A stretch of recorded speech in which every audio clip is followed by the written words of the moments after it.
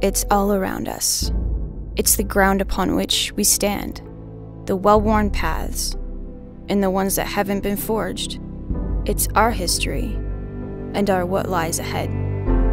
It's ours to nurture and to protect. We're a force for community and for country.